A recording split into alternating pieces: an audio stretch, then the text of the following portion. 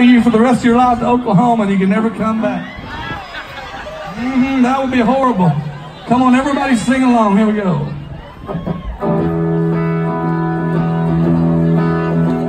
Let's piss off the neighbors. Here we go. Yeah, country music.